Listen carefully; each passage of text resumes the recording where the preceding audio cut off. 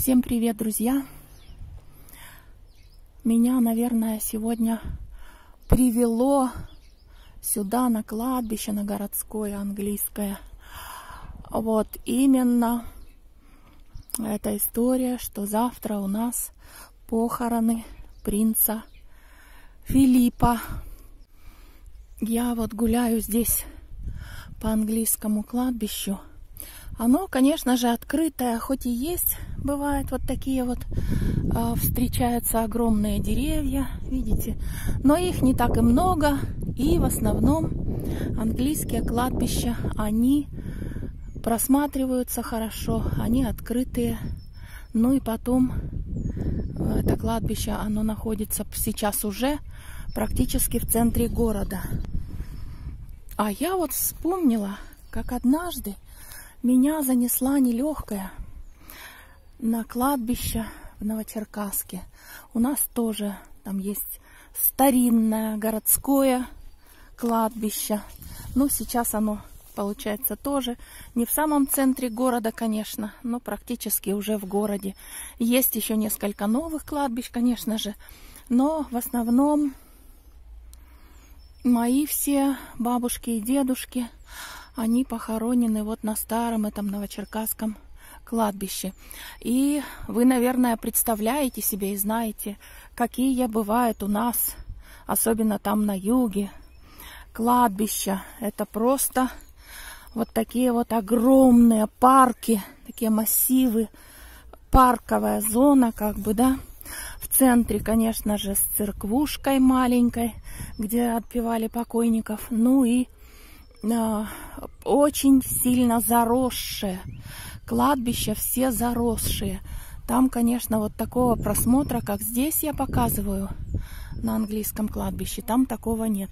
Там идешь просто э, по тропиночкам, и все сплошь заросло либо кустарником, либо деревьями. Ну и потом у нас, например, в Новочеркасском кладбище. Там оно настолько старое, что сохранились даже старинные семейные склепы, которые, конечно же, потом поломали, разграбили. И остались такие зияющие дыры, в которые долгое-долгое время сбрасывают все эти старые венки, старые какие-то надгробные украшения, в общем, просто какой-то кустарник, траву, и вот такие вот тоже огромные кучи вот этого мусора и высятся то там, то здесь. И тем не менее, так как я любила гулять по кладбищам и люблю и сейчас, уже говорила вам такую странность, которая у меня есть. Так вот, я помню, а, моя дочка еще была совсем малюсенькая, Даша. Обычно я лето всегда старалась привести свою дочку на солнышко, на овощи, на фрукты с этого севера. Я везла ребенка на юг, конечно же. Конечно же, к своей маме, Дашиной бабушке.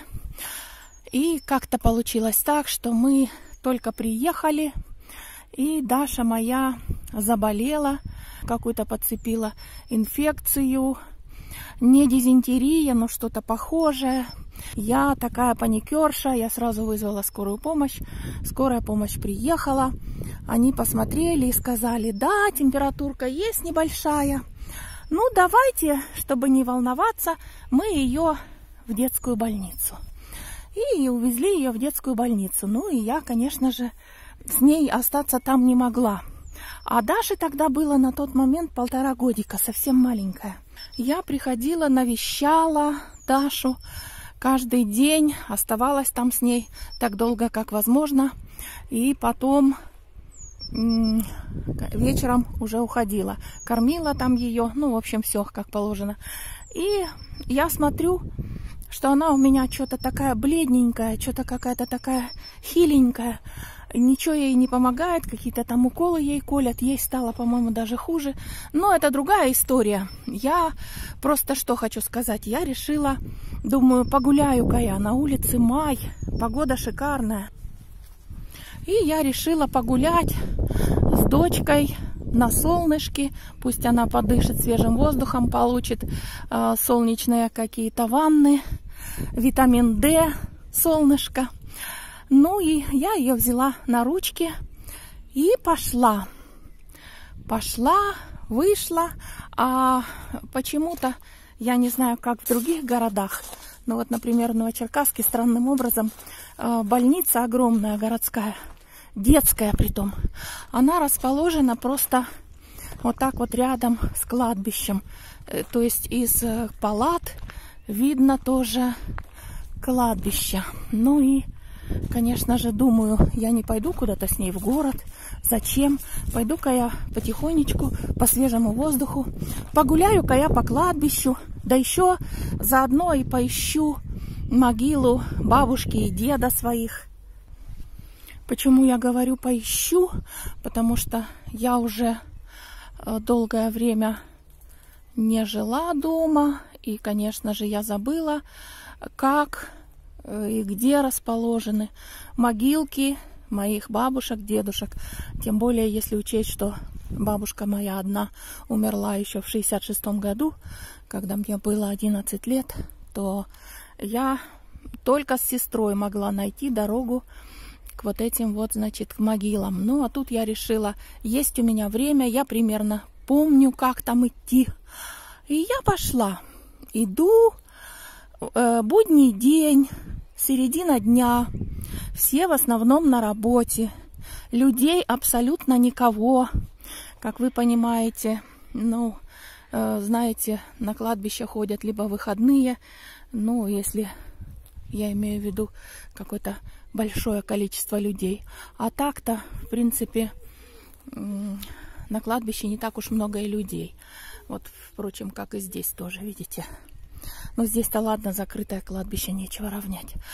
Ну, у нас оно было тоже уже практически закрыто. Это кладбище городское, там только подхоранивали.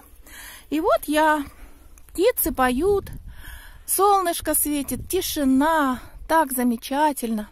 Иду с ребенком на руках. Даша у меня даже немножко задремала, положила головку на плечо. Легенькая, как пушиночка, мне ее нести совсем не тяжело.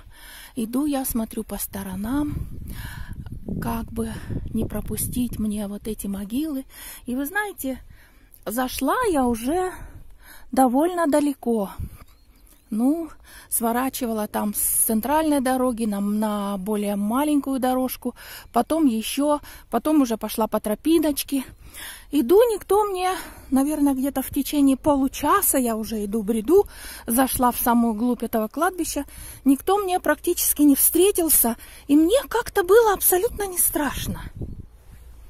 И вдруг прохожу я мимо там какой-то оградки, и вдруг там поднимается женщина, она стояла, знаете, в буквой ЗЮ, и там рвала траву, пропалывала все эти могилки, наводила порядок, что-то подкапывала.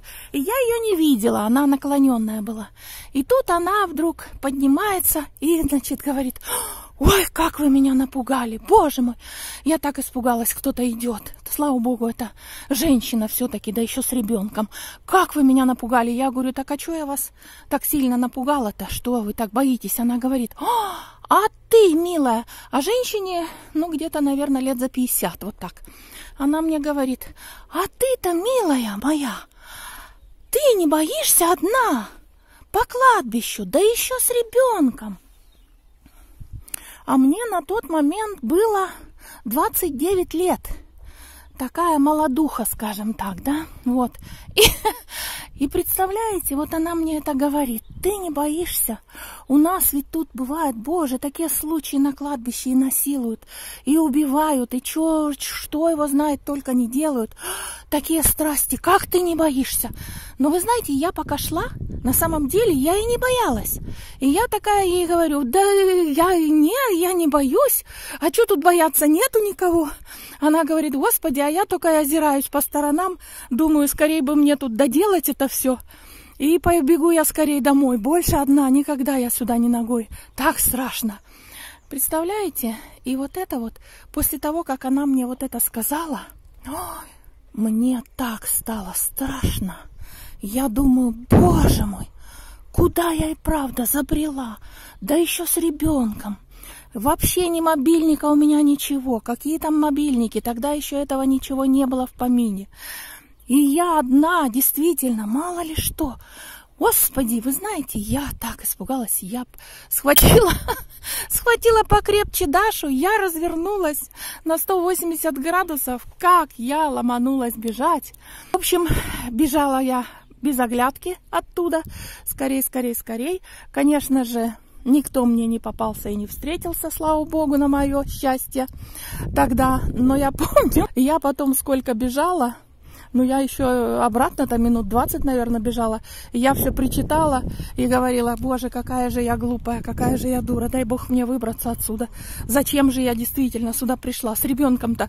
Да еще при том никто же и знать не знает. Вот я, не дай бог, пропаду, и с Дашей вместе, и Дашу погублю, невинного ребенка, и сама погибну. И вот э, даже никто не будет знать, где меня искать, потому что я пошла в больницу к ребенку, и куда, и что. Никто ж, наверное, не додумается, что я сообразила пойти на кладбище. Так вот, для меня тогда эта история, она закончилась э, вполне себе нормально. Я смогла прибежать обратно в палату и остаться, как говорится, живой здоровой и я, и моя дочка маленькая.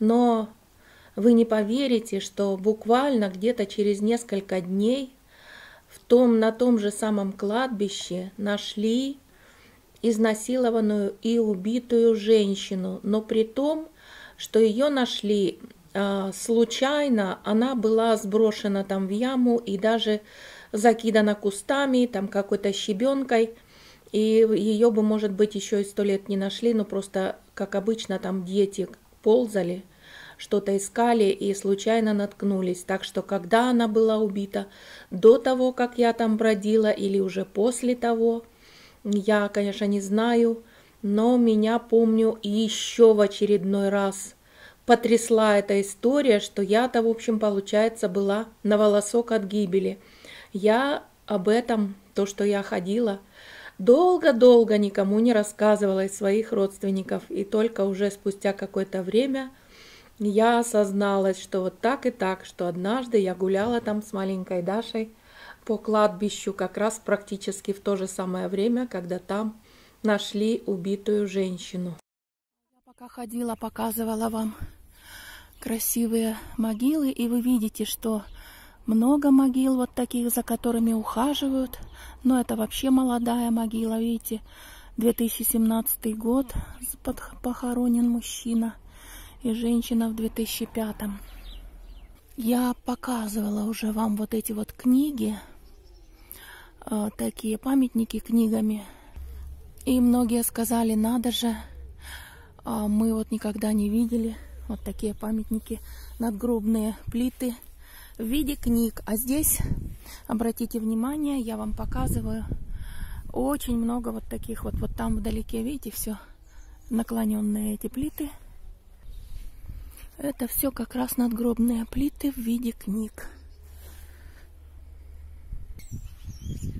Здесь такие надгробные плиты, наоборот, распространены и часто встречаются всякие разные из камня, из гранита, из мрамора. В разные годы поставлены. Но самые распространенные памятники вот такие вот доски. Доски, плиты, надгробья.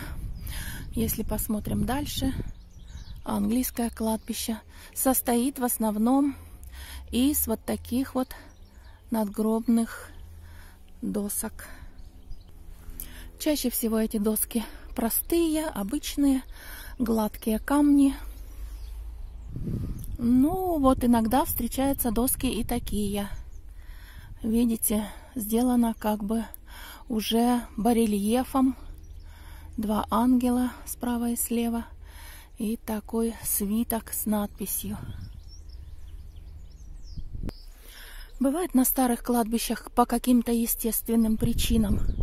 А, рушится, падает. Вот здесь видите крест с этого вот постамента надгробного упал.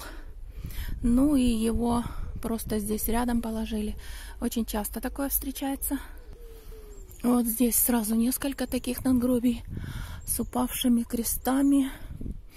Здесь вандализма, конечно, нет. И никогда никто это никуда не забирает. Камни не воруют.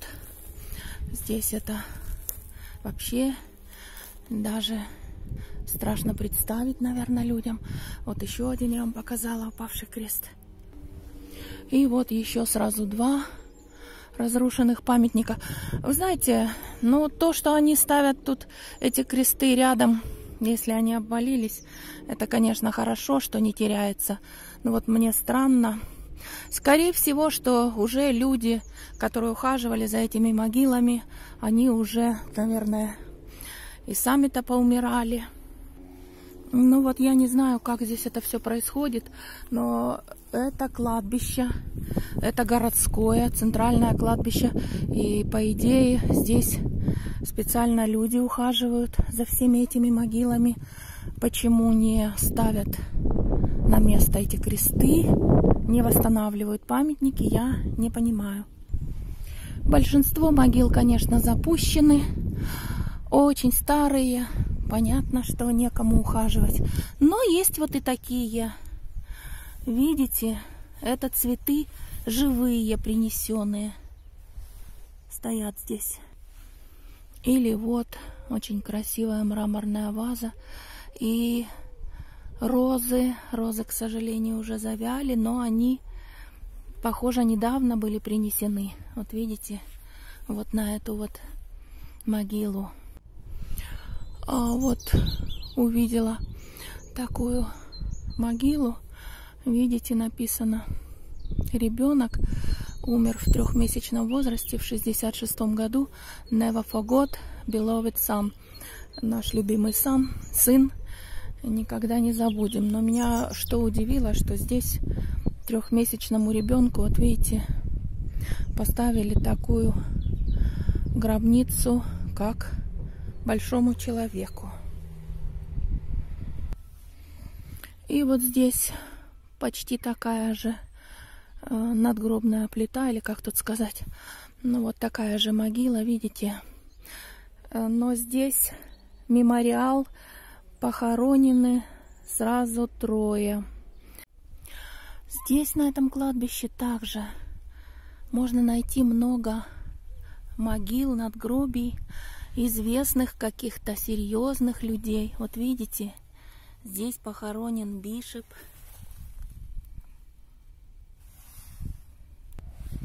Огромная гранитная э, плита с крестом. Вот, похоже, еще какая-то известная могила, известная личность. Здесь табличка установлена позже. Почему я вам показываю эти надгробья? Потому что у меня есть несколько человек, моих зрителей, подписчиков, которые очень интересуются старинными вот такими надписями, надгробьями и просили меня показывать более четко вот эти надписи на могилах. Я даже, по-моему, сейчас вам, если найду, то покажу несколько таких надгробий. Я зашла на такую часть кладбища, где очень много могилок совсем младенцев. Вот видите, месячный младенец похоронен. Вот еще совсем малюсенький мальчик, бэйби-бой. Вот судя по фотографии. Видите, я даже не вижу здесь, сколько ему было месяцев.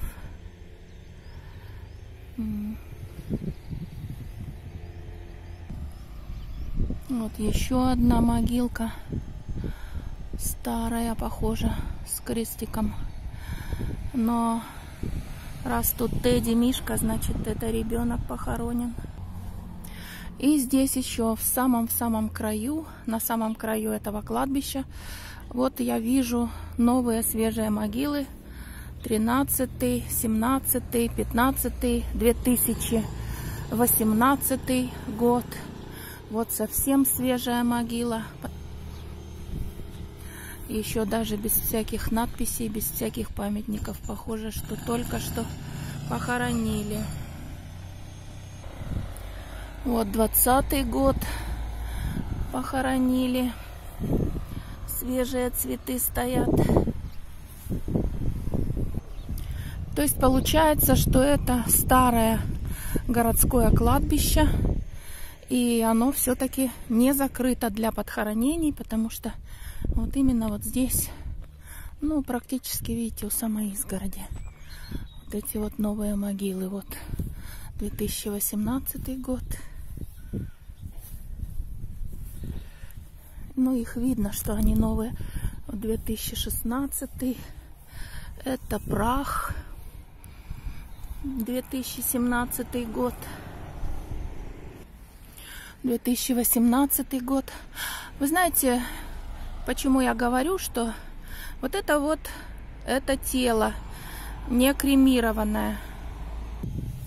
А вот эта плита, под которой урна с прахом, то есть человек кремирован. Я не знаю, что по поводу вот этой вот надгробной плиты, а, потому что я так вижу здесь два человека похоронены. Может быть, это просто прах, а может быть, это тело, гроб, не знаю. Я так далеко в угол этого кладбища не заходила. И, в общем-то, я удивляюсь и сама, что здесь идут подхоронения такие свежие. Ну а на самом кладбище, видите, здесь уже только старые могилы. Редко-редко можно встретить, а, но не так и много. Не знаю почему, конечно. Может быть, кто-то находит место, покупает его. Вот я не в курсе. А вот эти надгробия называются Кельтский крест. Тоже на английских кладбищах часто можно встретить. Вот такие надгробья. Кельтский крест. Вот такой сегодня у меня с вами небольшой экскурс по старинному городскому английскому кладбищу. Если кто-то хочет посмотреть более подробно, более обширно, и послушать, как здесь англичане хоронят своих близких. Ссылочка наверху сейчас вам всплывет. А я на этом с вами прощаюсь, друзья. Всего вам доброго, берегите себя. Пока-пока.